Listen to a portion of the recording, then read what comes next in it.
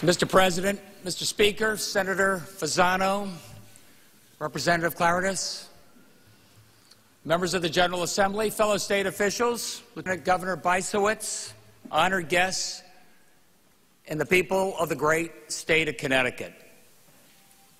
Today I'm presenting you a budget which gives us the best chance to get our state growing again. Connecticut has been a jobs laggard for many, many years, which depresses opportunity and hits our budget every year. And if we had grown jobs at the same rate as our other states, we'd be talking about how to invest our surplus or cut our taxes instead of staring down the barrel of a $3.7 billion deficit over a new every budget cycle.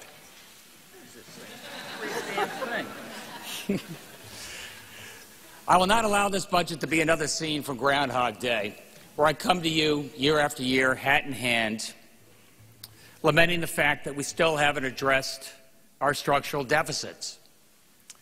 The fiscal crisis before us is not just a short term hole in the budget.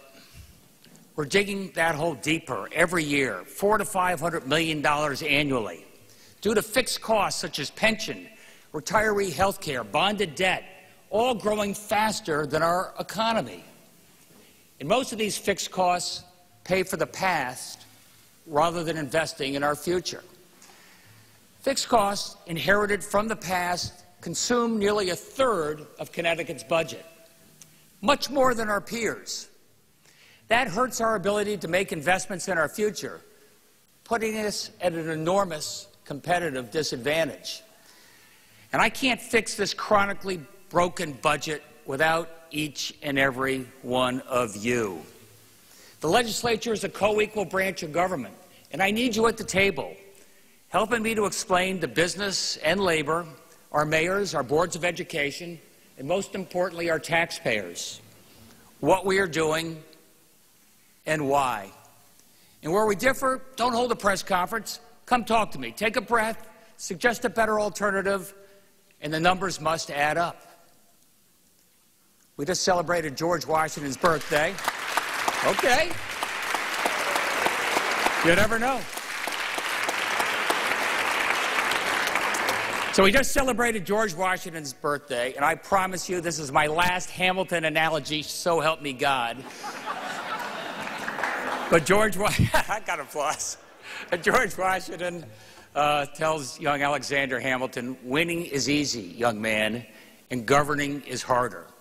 And let's prove them wrong. Let's try a different type of politics. And let's not wait for the summer to do it. Loudly from all across the state, I heard the same thing from our local leaders. Ned, I'm willing to live within our means. I can tighten our belt, but I need to know what those means are so I can plan accordingly.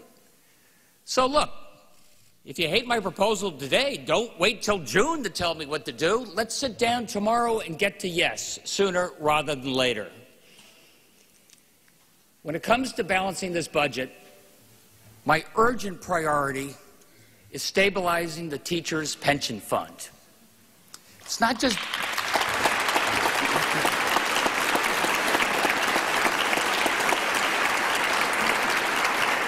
Okay, it's badly underfunded. It doesn't keep faith with our current teachers, especially the younger teachers. And the state compounded that problem maybe a decade ago by layering on a pension obligation bond, which let me put this gently, didn't quite work out the way we may have hoped. And now let me be blunt. If we don't fix this bond, our current payment plan could have disastrous consequences. Our annual contribution to the teachers' retirement fund could end up being higher than the amount the state pays on education across the state. So working closely with Treasurer Shawn Wooden, we'll restructure our pension contributions there. This will reduce our annual payments, reduce our financial risk, and give the teachers the confidence their pension will be there when they need it. We're also going to assume a much more conservative and realistic rate of return assumption. Similarly, the state employee plan still represents a large share of the overall budget and accelerates state payments at $100 million every year. And that's an unacceptably high cost, which could either force draconian cuts to needed services or a large tax increase. So again, working with the Treasurer and our friends in labor, we want to smooth out those payments on both of those pension systems so that our annual contributions is a lower percentage of our budget over the next generation. This is similar to what you do in a pinch with your own home mortgage. And to those of you who say, this sounds like we're just stretching out these mortgage-like payments over a longer period of time, we're just kicking the can, I, I got to tell you that this is a crisis that's been generations in the making. And it's going to take a while to work our way out of this. We need the breathing room to maintain our current commitments in education and transportation and workforce development. And we need to provide stability for our towns and cities, some of which are struggling with insolvency issues of their own. In addition, we must slow the rate of increase in our pension obligations and tie future cost of living increases to the performance of the pension fund. And when markets perform well, the cost of living adjustment goes up. And when markets are down, the COLA is a little less generous. Our teachers are already on this track, but this has a required tough negotiations, and we've got to start. These pension reforms, they don't solve for world peace. They're just a start, but they offer a reasonable basis for long-term fiscal stability and building business and consumer confidence, which is a precondition to getting our state growing again. The next big structural reform focuses on health care, specifically our state employee and retiree health care. The state of Connecticut provides health care coverage for 200,000 individuals. Let me be clear. We are not taking away anybody's health care. A deal is a deal.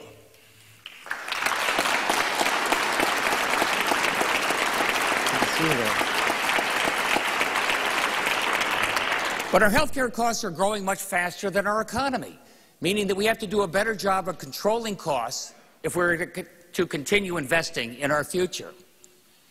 Controller Lembo and our team are working with our state employees to forge a path where the state no longer pays whatever a health care provider charges us, but instead we set a ceiling on the maximum price that the state will pay. And we've looked at this, Kevin and I. There's not a real direct correlation between the quality of care and costs, and the costs for these medical procedures are all over the map. So listening to our friends in labor, we're also going to build upon the state's Smart Shopper program. What that means is we provide cash incentives to our state employees for selecting quality, cost-effective health services. So our employees will receive quality and more affordable health care, and the state will pay less. I want to make one important personal point. To those of you who believe that we're not asking enough of the state employees, just remember that these are the folks that work their heart out for each and every one of us every day. They're taking care of our kids, taking care of our parents, they're keeping us safe, they're fixing our roads. And they have a contract that extends till 2027. I'm asking them to sit down now together in good faith, and we're talking because you all care about the future of our state, and I thank you for that.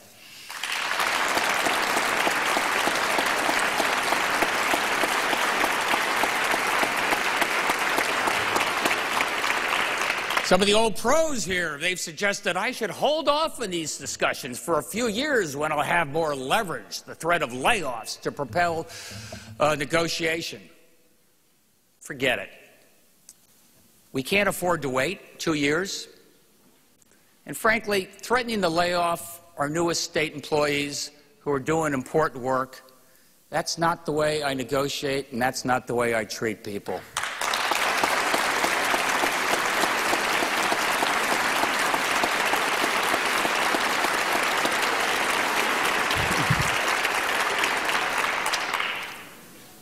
I also know that there are tens of thousands of our state employees who are going to be retiring over the next three to four years.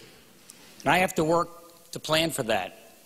And how we work together to fix our long-term pension and health care costs or will impact my thinking on the mix of state employees and outside providers in our government's future. Some of you think that Connecticut needs a Wisconsin moment where we walk away from collective bargaining and tear up our contracts. I want an anti Wisconsin moment. I want a Connecticut moment.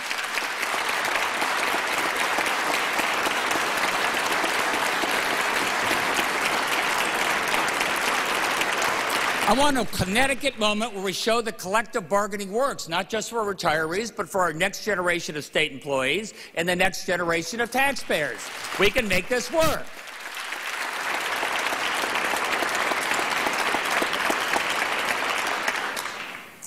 Okay, next portion of our fixed cost that drives up our structural deficits bonded debt. Over the last eight years, our bond authorizations have skyrocketed. In fairness, we made some important capital investments and some nice to have investments. But the payback of principal plus interest is consuming more and more of our budget. Our budget, my budget, reduces bonding authorizations by nearly $600 million a year.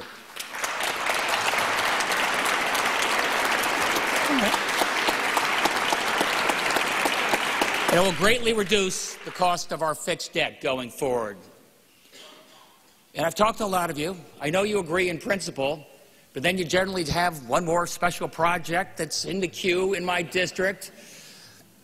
So be forewarned.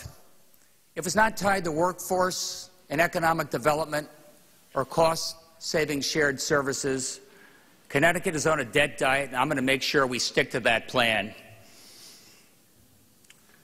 Memo to self crickets. All right, while I'm at it, we here in this room have also got to do our part to reduce these fixed costs.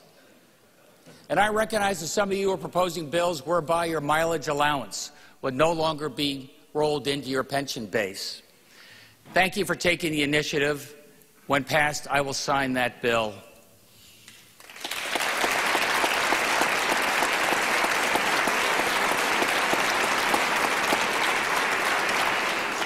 Kind of a mixed reaction. On the operating side of the budget now, we're cutting back on middle management, and I asked my commissioners for some ideas to cut costs and make their departments even more efficient. Some great ideas came from the top. Commissioner Jim Rovella, public safety. He suggested replacing state trooper auto fleet every five or six years, not instead of four, and putting civilians on desk jobs to allow more state troopers to do what they do best protect Connecticut and me.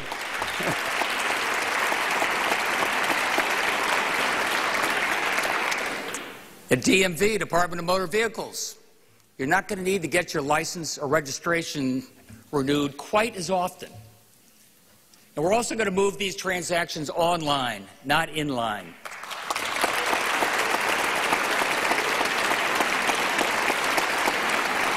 Going forward, we're also going to look at the cost and frequency of licensing for the trades and other professions, providing additional savings for folks in small business.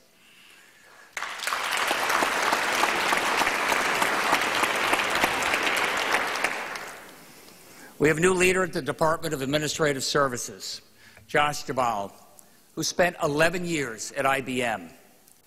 I have proposed a significant investment in technology and IT personnel to modernize and digitize state government. Moving transactions from manual to online can reduce costs by north of 75 percent. Today, we have probably 2,000 plus forms that people fill out, and less than 5 percent of them can be completed online. So as we digitize interactions, we'll achieve cost savings, a better customer experience, and you'll see those savings reflected in my next budget. Thank you. And we expect transparency from our state agencies. Well, I demand it from our quasi-public agencies as well, such as the lottery. I propose legislation will, that will ensure we have access to their books and their bottom line. Taxpayers expect nothing less.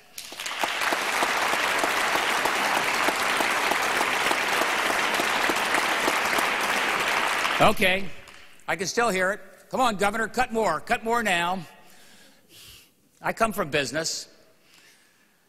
But unlike business, I can't just say to patients on the road to recovery at Department of Mental Health or to kids in crisis at DCF,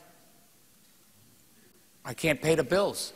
I can't tell the elderly that there's no room at the inn. I can't simply shut down an underperforming department. But we can and must provide better service at lower cost with more efficient and more responsive state government, and that starts now.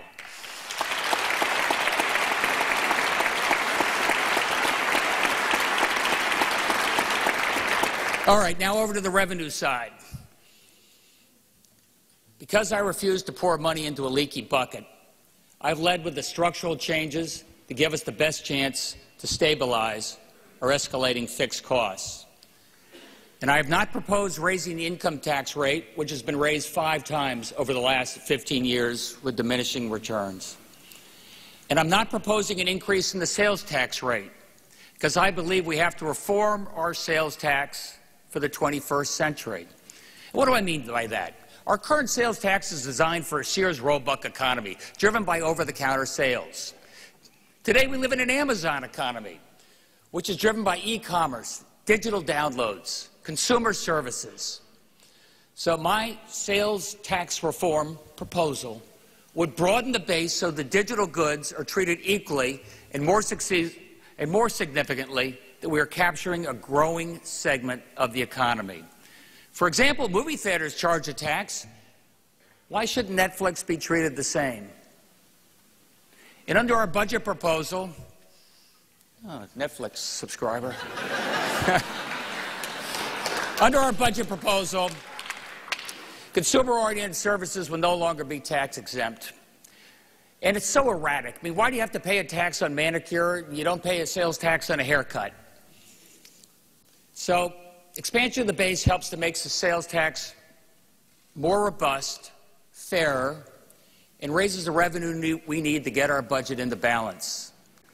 And believe me, I've been forewarned by all of you. This, there was bipartisan consensus on this, that every tax expenditure has a strong lobby behind it, and the pushback will be ferocious.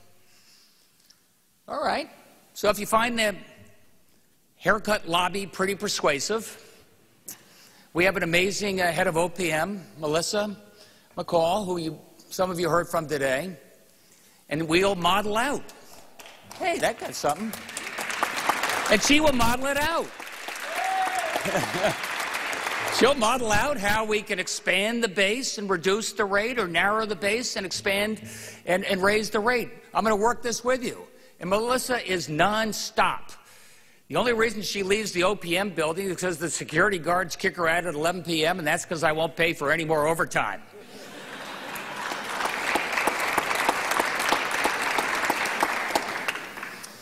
All right, so I welcome you to this debate. And if you disagree, have at it. But again, the numbers must add up at the end of the day. Under our budget, proposals, we're making a commitment to education. While some towns that are losing stop population will receive a little less, other towns with growing population and more kids in need will see more investment.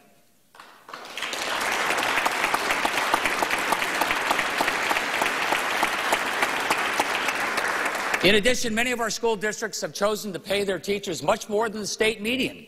It's a great investment for their community, but it's an investment that impacts the state's overall pension obligation. So our budget will ask every municipality to make a contribution towards normal teacher costs. But towns like mine, Greenwich, which pay teachers about 30% more than the statewide average, they're going to be asked to pay that extra amount as well into the pensions. This reform This reform ensures that municipalities have some skin in the game and the pension burden is shared more fairly. One big priority for me on a personal basis, recruiting more teachers to our tougher schools, reaching out to more teachers of color, and more male teachers. And we do this by being bolder on the incentives we pr provide to teach in those schools, such as tuition reimbursement and down payment assistance programs. Our children benefit from role models and mentors they can look up to. And this is one big step towards closing the opportunity gap.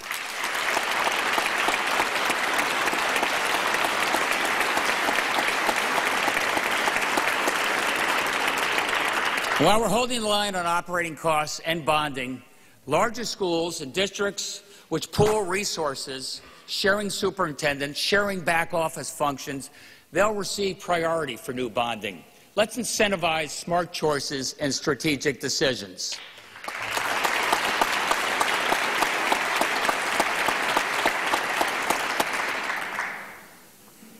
I prioritize education as the opportunity engine for all of our young people. It's the key to workforce development, assuring also that our businesses, large and small, have the talent they need to grow in the future. And I'm asking everybody to do a little bit more in this budget, and that includes business. In my proposed budget, business isn't going to get the elimination of the 10% surcharge that they were expecting this year, but I am proposing to eliminate the business entity tax, which is a costly nuisance, especially for our small businesses.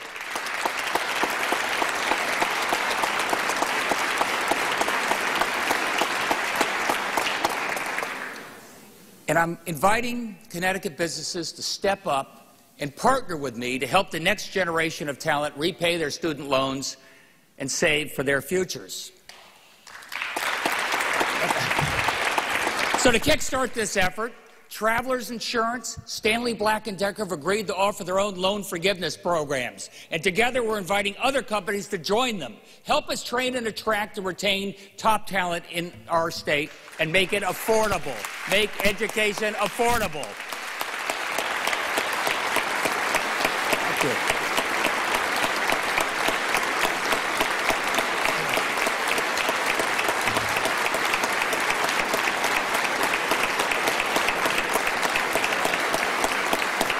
Another way to drive economic development to our urban centers and distressed communities is to take advantage of the new federal opportunity zones. I want Connecticut to be one of the first states out of the box on this. By lining our existing state resources to provide that targeted um, support, we can invest tax-free in these areas, creating good-paying jobs for folks that need it the most.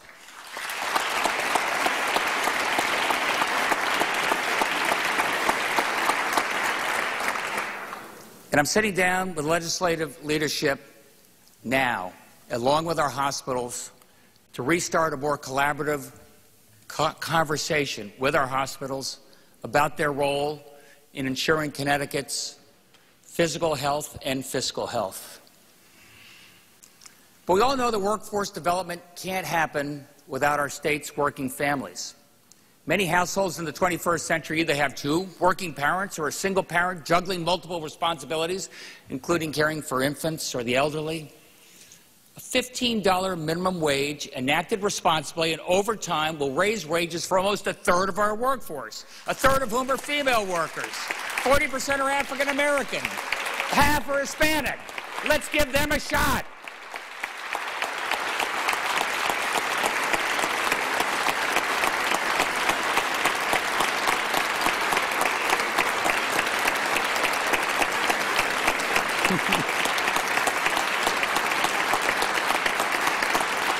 And passing, while I'm at it, passing paid family and medical leave program will ensure that workers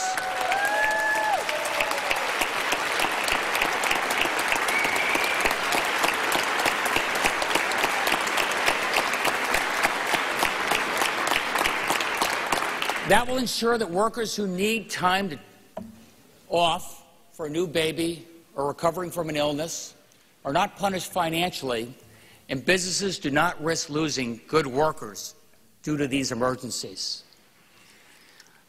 My budget also supports fully funding our clean energy and energy efficiency programs.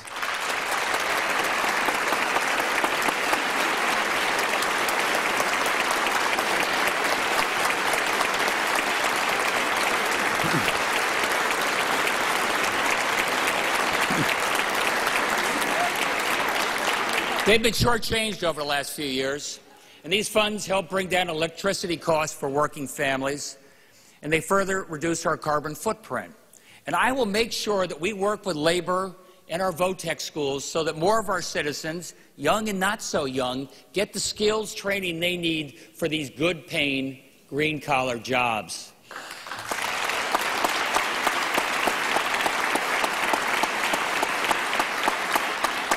All right, so in addition to bringing our workplace and our workforce into the 21st century, we must bring our transportation system into the 21st century. By, that's the easy part. We do that by speeding up our highways and rail service, which are critical to the long term economic growth of this state. Uh, okay. But it is a budget address, and now we got to talk about how we pay for it. Let me say this to everyone. People in the state are getting squeezed. The middle class is getting hammered. I saw that every day during the campaign. I see that every day as your governor. I know this idea of tolling just sounds like one more damn tax I'm going to have to pay. And I cannot fix this state unless I fix our transportation system. And let me tell you how I plan to do it. By now, you've heard that I'm submitting more than one option when it comes to tolling tolling for trucks only, and tolling for trucks as well as cars. And I've asked Transportation Commissioner Joe Giulietti, in either case, to make sure that we are streamlining the administrative and construction costs per mile. And we explore public private partnerships to maximize the value of these new revenue streams. And in these partnerships, I can assure you that the public doesn't carry all the downside risk while the private investors enjoy the upside. We're going to get this done. I've supported, as you know, truck, toll, truck only tolling, which we thought could generate probably $200 million a year, uh, measured off the Rhode Island example. And if applied to all of Connecticut's major highways, it would. But while we're waiting the final ruling out of the Rhode Island case, our, our attorneys are saying probably, in all likelihood, if they allow truck only tolling, it will be only tolling on those bridges that are being rebuilt. Assuming that is correct, truck only tolling could provide a small down payment on repairing our roads and bridges, but not nearly enough to rebuild our transportation system, and certainly not without additional revenues. So let me be clear. I do not support raising the gasoline tax as an additional revenue. And some of you have suggested, how about we use something called priority bonding? I don't like that idea. It runs counter to our debt diet. And after 40 years of underinvesting in our transportation system, we cannot borrow our way out of this mess.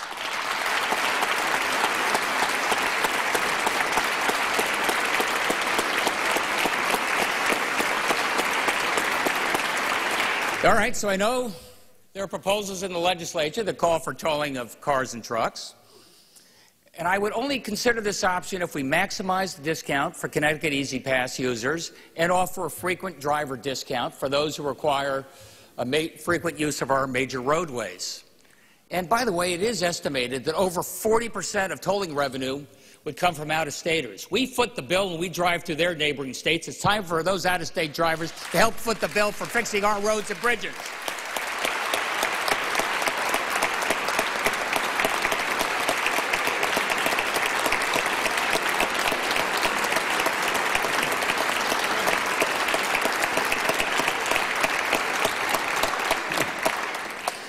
All right, you're the co-equal branch of government. I'm open to a real discussion with you, as well as Connecticut drivers, about the state of our transportation system and what is needed going forward, not only to make the repairs, but to truly put Connecticut on the path to speedier transportation.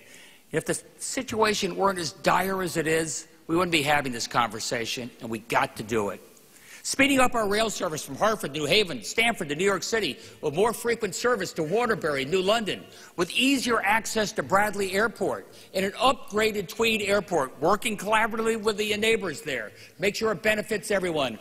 all while moving some drivers from roads to rail, incentivizing trucks to uh, go off peak. These are the transportation upgrades that are the building blocks of our economic future, and they have to start now.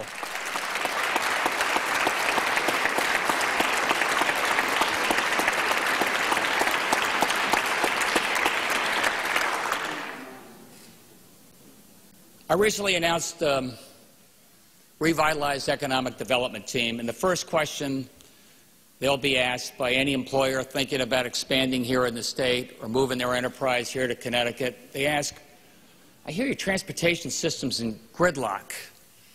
How are you addressing that? And rather than nervously looking down at their shoes or checking their watch, our economic development team will now be able to say, I'm glad you asked me that. And they're going to say, well, how about those unfunded liabilities and those deficits? Our team will soon be able to answer, I'm glad you asked me that. How do you make sure that you have the workforce you need to grow and expand? I'm glad you asked me that. And beyond this two year budget, we must enact new sources of revenues, such as sports betting, internet wagering, legalize recreational marijuana like our neighbors that will be carefully regulated for a safer market with tax.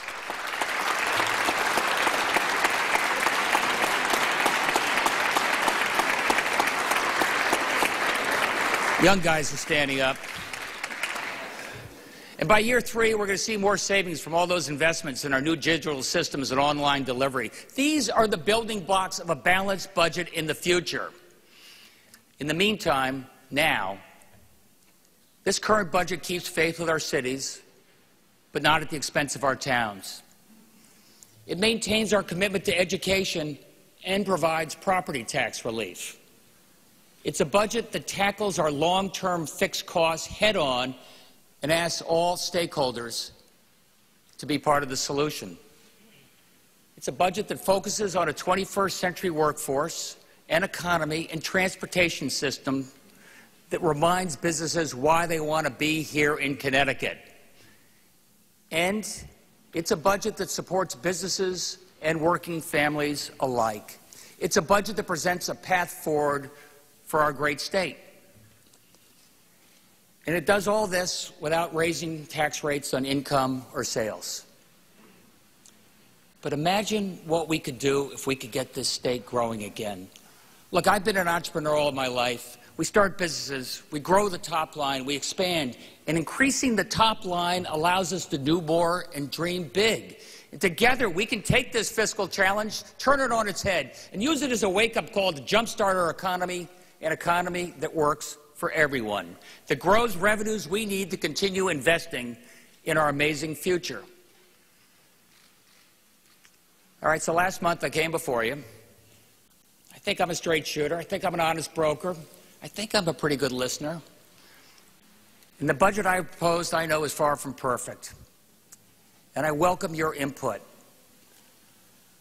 Politics in Washington, D.C. right now is a dysfunctional mess. Let's show that here in Connecticut we can work together on an honest budget, on time, one that gets the state moving again. And when we disagree, you don't go to the microphone, come to my office, let's talk, the door is open, let's get it done.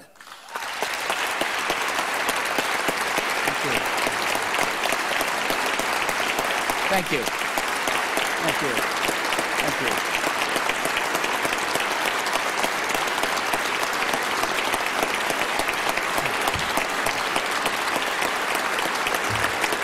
Look, it's tough. It's going to be tough. But we're going to do this together. it's going to be a budget that's on time. You know, born on a chilly February afternoon, maybe completed in time for a warm spring day. Why not? Certainly in time, I hope, for most of our mayors and our first selectmen, our superintendents, small businesses, all of our citizens alike, to plan for a fresh start. Now let's get to work. Thank you all.